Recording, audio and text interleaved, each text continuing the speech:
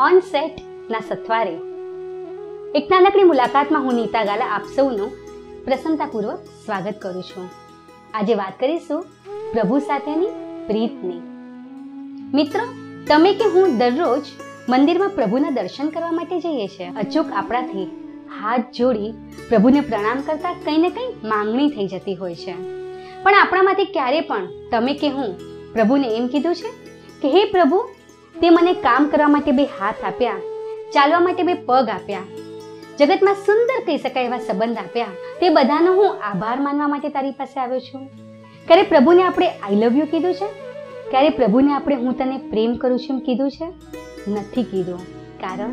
કારણ કે આપણને જે મળ્યું છે એની આપણને કદર નથી અને જે નથી મળ્યું ને, એ મેળવવા પાછળની દોટ છે. ત્યારે ક્યારેક મને વિચાર આવે કે આપણે આપણી ગાડીમાંથી પસાર થતા હશું ત્યારે સિગ્નલ પાસે કોઈ ભિક્ષુક ઊભો રહી અને આપણી પાસે હાથ લાંબો કરે તો આપણે શું કરીએ છીએ? આપણે આપણી ગાડીના કાંચ ચડાવી રહીએ છીએ.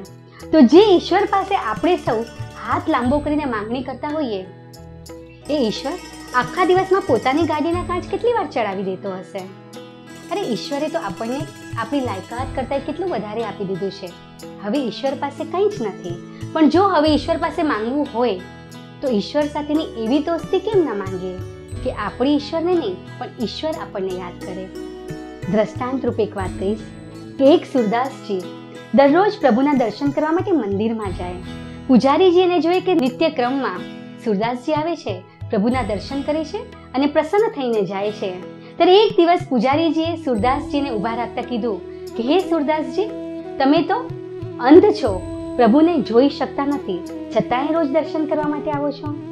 અને ત્યારે સુરદાસજીએ જવાબ આપ્યો કે હું ભલે અંધ છું, હું ભલે મારા પ્રભુને જોઈ શકતો નથી, પણ એ તો અંધ નથી ને?